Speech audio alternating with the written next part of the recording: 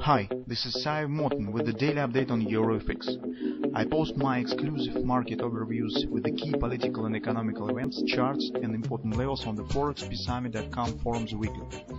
This short video is a response to rapidly changing situation on the currency markets and should help you to stay on top of the game and be profitable. I suggest you to visit forexpeacearmy.com forum and read my analysis for the week before watching this daily video. Greetings everybody. Today guys we'll take a look at the Great British Pound. In general we uh, might we could say that after the non-farm payrolls release the markets across the board have turned to massive action so uh, you can see how our previous setups uh, have arrived. I mean uh, not just the Great British Pound but also recall what we have said about the Japanese yen where we have expected for a long period where the market finally will start the upside action. Uh, because the setup uh, has created uh, different patterns. Mostly this is the butterfly on the Japanese yen that suggested another high and currently still suggests another high on the Japanese yen. But market within the recent month has turned to some not quite clear uh, consolidation. It was really tight. The market just um, has moved nowhere. It just stands flat but non-farm payrolls released on the previous week has uh, given new impulse for the action and you can see how Japanese yen has accelerated I mean the currency pair has accelerated to the upside. And um, that's another setup that we should keep an eye on. Uh, second is the New Zealand dollar. So uh, recall what we discussed a couple of, of weeks ago when we said the New Zealand dollar probably will show another move to the downside and should clear out the previous lows but the starting point uh, has been postponed a bit compared to our analysis but finally it has started. And uh, it is also the setup that we will keep an eye on in the current week and probably will prepare a next update dedicated uh, to other currencies maybe to the New Zealand dollar Japanese yen. Also we see interesting medium term setup on the Canadian dollar. So uh, the the coming uh, months promise to be uh, really interesting and we probably will keep an eye on different currencies. Uh, but today we will uh, take a look at the British, Great, British, Great British Pound because it has interesting short-term setup. It's mostly tactical, but we don't see a reason why we should ignore it and uh, why we uh, should uh, miss it and do not try to exploit this thrust downward action on the Great British Pound once again. On the euro currency, guys, uh, recall what we have said in our weekly research. We, we, we, expected to get at least some minor retracement to the upside. As you can see, uh, an expectation of the Greece conversation, uh, the euro currency just has dropped further and has finally broken, absolutely broken the previous strong support on the monthly chart.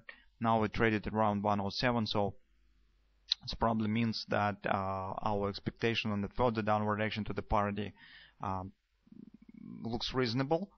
Uh, maybe it will not be very fast, but still this will be gradual, but definitely to the uh, parity target.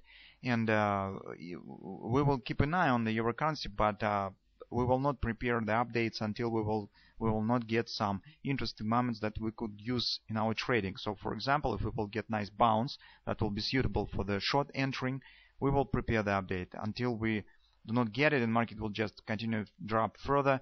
Uh, in this case, you could uh, follow our longer analysis, longer perspective analysis that we have discussed on the weekly chart, on the monthly chart, because we know the target and uh, you will find some chances for taking the position. Well, that's where it will be good. But now let's turn to the Great British Pound. So recall our trade on the weekly chart. This is the bread and butter trade. Market has hit target on the previous week, even before non-farm payrolls has come. So our target was approximately at 150, 52 probably, the 618 support of that thrust up market even has dropped even uh, a bit lower right here.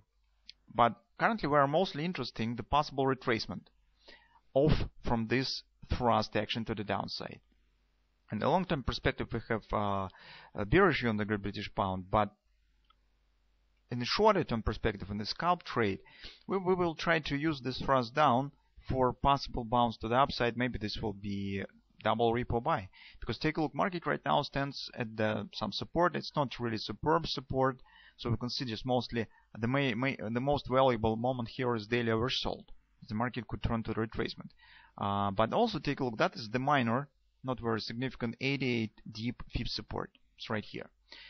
Well, if we suggest that market will show approximately the same retracement as it was here, when this was a significant drop down, also very fast, also very strong drop. Here also we have significant drop down. So we assume that market will probably show this uh, kind of the retracement. That will be really not not small move in general. So it's approximately 150 pips to the upside. Uh, maybe it will be a bit lower, but anyway, uh, the context for the possible upward retracement here exists. So now let's take a look at the forward time frame chart when we have the major picture for our analysis. Take a look that market also stands at the monthly pivot support 1. And take a look at this thrust down. This thrust down, why I'm interested with this uh, currently thrust, it's very suitable for possible Joe DiNapoli double repo buying pattern because uh, as you can see with this retracement now market hasn't reached the 3.8 resistance. It means that uh, the steam is still in the pot because investors uh, right now still hold the short positions here because retracement not very significant. It, it hasn't uh, led market to taking profit yet on the short trading. Also guys I suspect that we even could use this thrust right from this top.